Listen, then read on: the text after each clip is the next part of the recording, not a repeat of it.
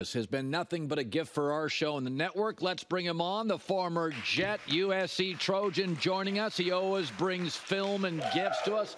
That's right. Even Gifts, my wife, last time she saw Mark, commented on your cool look. You're really aging well. Look at that hair. You, you and uh, backhanded compliment? no, I mean, it's look at this guy. You do. You've got. well? You've got. You you really pull off the.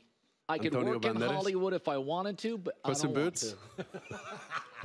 Okay, so you do the film breakdown as, as about as well as anybody. You make it very consumable for guys like me that don't know what I'm doing and, and don't know what I'm talking about. So the kid I like is, I mean, obviously production matters, but the reason I take Jayden over um, Drake, it comes down to this: much tougher conference and a much more consistent performer. And man, I like those legs. And when Yeah. you come into this league and you're trying to figure out the defenses, which are really sophisticated, if you can run around It's for nice a little to have that. you I run- wish. yes, but it does give you a little bit of time to like, hey, I'm gonna pick up some first downs, move the chains with my legs. Ooh, I yep. like him a lot.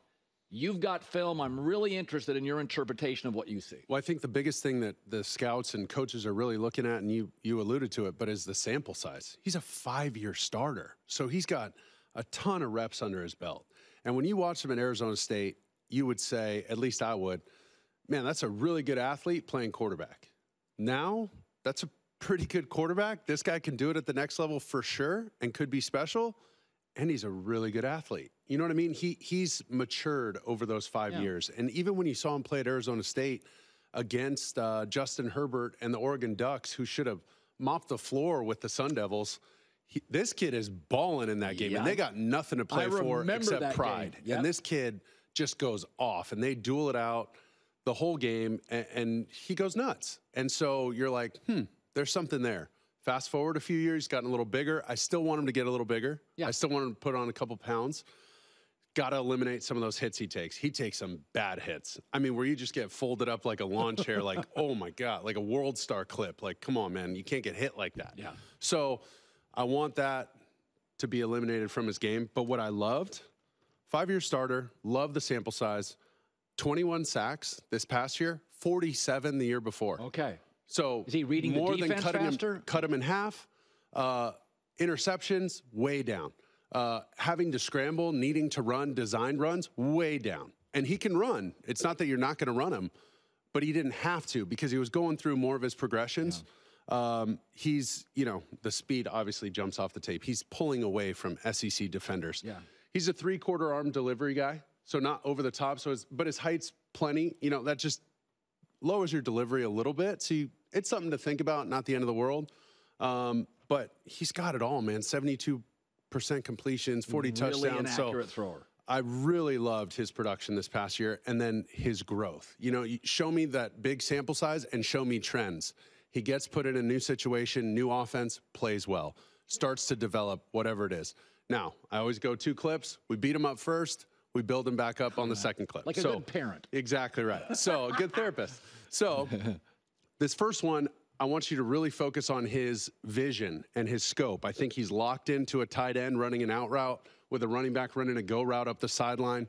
Um, and you got to see, especially in split safeties, these defenders in the NFL are crafty. They're sly, they're slick. These cornerbacks, they got head on a swivel, especially in zone. They're watching the quarterback, they're watching their guy, and they're ready to make you to try and bait you into a throw. I think it's imperative to understand that he's going to start on the left. He's working a seam route and a hitch route outside. We used to call it Hoss. You don't want to, you know, overcomplicate these things. Hitches and seams, Hoss, easy to remember, right? Right, right. So you got a seam, a hitch. The backer's going to buzz underneath it, take away the hitch. He gets a piece of the seam route, so everything's jumbled up over there. Boom. He just resets his eyes and gets back to the opposite side of the field. His third read, the uh, yards after catch, the run after catch this year was so much better than years past. And it's because he was much better with his ball placement and giving these guys opportunities to catch and run instead of holding him up with a throw at their, you know, heel or something like Right. that. Boom, he gets tackled. I mean, these guys are off to the races, and that Nabers kid is unbelievable. So he set him up well. My my one thing is the deep ball. I think he's I think he's got to get like two more yards on that thing. Yeah. Two to five more yards. And I think with the little offseason program, you know, maturing into his body, he'll accomplish that. So one of the things you said there um, is that the Oregon Arizona State game, and, and I'll tell you why that's important. I remember that shootout, game. it was fun. It was a crazy Great game. um, is that I said I did a rant. I think it was yesterday. I said if you look at the last ten drafts, we have twelve quarterback hits. Size is not it because Kyler's small and Josh is big. Where you went to school, Josh Allen went to Wyoming, Mahomes Texas Tech. The one thing they all have, if they're on stacked rosters, uh, Burrow at LSU, they put up cartoon numbers, Mhm. or they elevate okay roster. A mediocre roster, sure. Right. So here's what worries me about JJ McCarthy. I've seen Jayden Daniels elevate pretty average Right. roster at Arizona State. Right.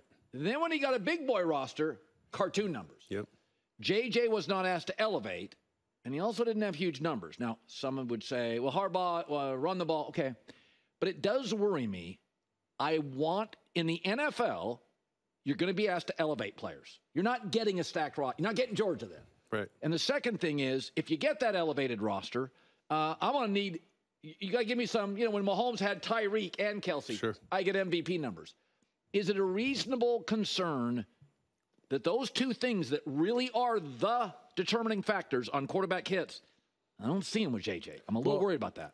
You also have to keep in mind are you going to judge this player on what they're asking him to do or the system overall or versus other players and other situations? Like how are you going to mix those variables? And it's not an exact science. I feel like uh, you're on like deal or no deal or something right? And you know i got um, i got a new car and it's a solid new car, right? Like I've seen the tape on this car. It's a great car. It's a Honda Accord. It's going to last forever, right? But behind the secret door, you could have a trip to, you know, Tahiti with your family or something, or a new house or something, or you could get a toaster. you know what I mean? And you're like, uh, what do I do? And people just get so enamored with the unknown and what could I do with this guy? What could I mold this to be? And then they drive home from the show, or they're really taking the bus home from the show with a toaster in their lap. Like, dang it, I should have taken the car, you know? So I feel like that's the quarterback position. That's drafting this position.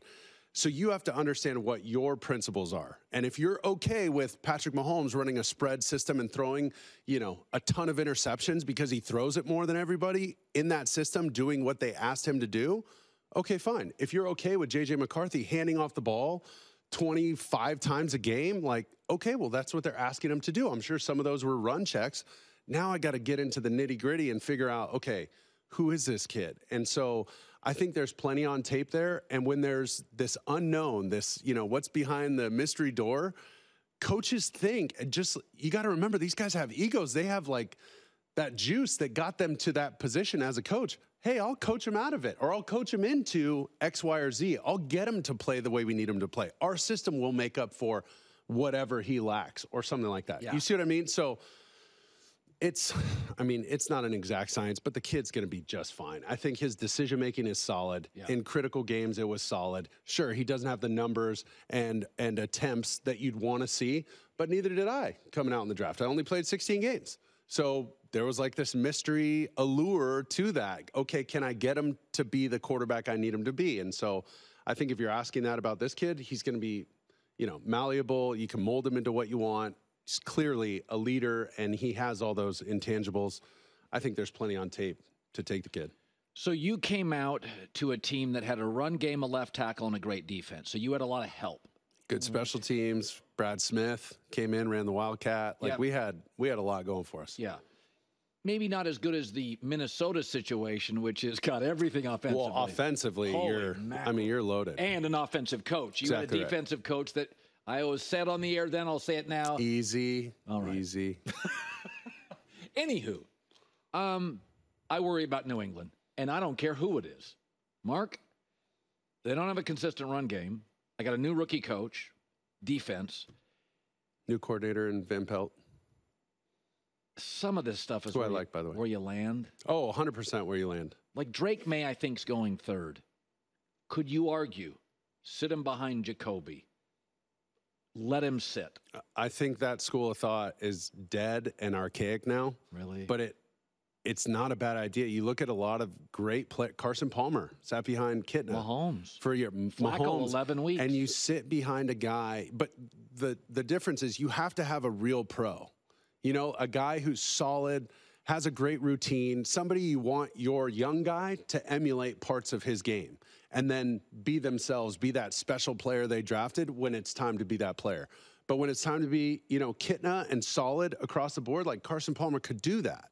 But when it was time for Carson to put on the Superman cape, boom, he did that too. And so you learn from a guy like that and you glean some of the stuff that they have. Just silly stuff like your routine before games. What do you eat the night before the game? How do you travel? What do you wear? Are you suit and tie guy? Like, what's your approach to all this stuff? And all that's going to change, and you're going to come up with your own formula that works for you.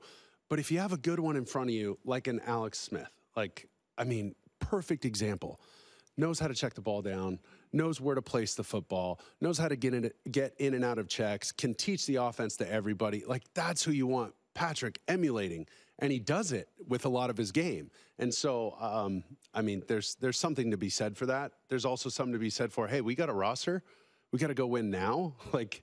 I'm, you know, I'm the GM looking at my watch like, ooh, Some okay, that- we got to make this happen now. And you know, it's a it's an instant gratification society, especially with the NFL. Let's go. You got a two three year window, which is, you know, for a quarterback, totally unfair. You need a five year run to see what we really are, who this kid really is. Is this the right system for him? Do we have to change coaches?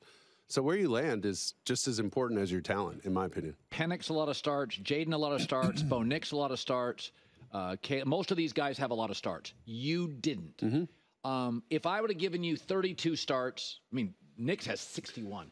Do you think Mark? So I look at these quarterbacks and I'm like, man, I could see all of them working with the right fit. And mostly I look at that and I think they've all got like 30, 40, 50 s- starts. If I would have doubled your starts, Oh. what would the advantage have been? Well, it only helps your um, time on task, your reps, just more more shots at those potential uh, turnovers that you don't throw, more sacks you don't take. Like the same way we watched Jayden Daniels grow and not take those sacks and not throw those interceptions and not make critical errors. Boom, that's what you want to see. You were learning that's on the what, job. You're learning on the job. It was my first year starting. I had played three years or three games before that, excuse me. So 16 total starts is light. I mean, really light. So for some teams, that was right there. Just no, I need a two-year starter. That was the old. That was the old school motto. Is Oh, yeah. I need a two-year starter Yeah. minimum, and that was like, ooh, it's a little light. So 16 games that turns some teams off. But listen, we say it every year. You don't have to have all 32 teams fall in love with you. You just need one. That's right. and hopefully they're picking early, and hopefully you got a decent roster. So I I was you know the the beneficiary of. Um, you know, a team that was picking at 15 or 16 that traded up to five to go get me. So you're 15 or 16, you're right in the middle of the league. You're, you know, a win or two away from the playoffs. you right. got a team that can go. So you had some players. Yeah, so you have a defense that was legit. I mean, they throttled Brady Do you a couple remember? times. Do you remember Oh, the God. first time in practice you faced the Jets defense? Well, it was Revis. The next year we had Revis and Cromartie. I mean, to, looking back now, it's silly what we did because it doesn't help a quarterback. It doesn't groom a quarterback going one for 15 in a rack of plays in practice because the defense is so good. And they're throwing like all these different defenses at you that you've never seen before. Like you want the quarterback to look good and try and build them up. practice was tough. But I'm just getting pummeled out there like, oh my God, there's nobody to throw to. Like Revis is running the routes for everybody. What am I doing here? Right. You know, it's it's hard. It made it made life really tough, but you kind of learn on the fly, thrown in the fire, who are you? And that was the approach there. I mean, from an offensive perspective, you'd think like, ooh, might want to get him some completion so he has a little confidence going into games instead of just getting crushed in training camp, you know? So it was, uh, you know, we added some talent my second year, quite a bit of it. Um, with Braylon Edwards, Santonio Holmes, Jerricho Cotchery, Dustin Keller, and LaDainian Tomlinson. Shonn Greene was our running back. Like, we had a potent offense. So that training camp was a little more competitive. Plus, I had a year under my belt, so I felt a little better. But that first training camp was rough, man. There are a lot of balls on the ground, a lot of balls going the wrong way. So that was uh, that was tough. Hi, everybody. It's me, Uncle Colin. Subscribe here to get the latest from the herd, including exclusive behind the scenes videos, and more wherever you may be, however you may be watching. Thanks again for making us part of your day.